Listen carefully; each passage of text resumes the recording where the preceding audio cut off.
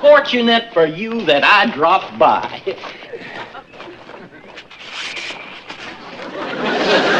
Now, look, I... Now, the first thing that you'll need is this sign. Why do I need that sign? Makes your patient think he's in a hospital. Gives him a secure feeling. That's not gonna make him think he's in a hospital. No, but this will.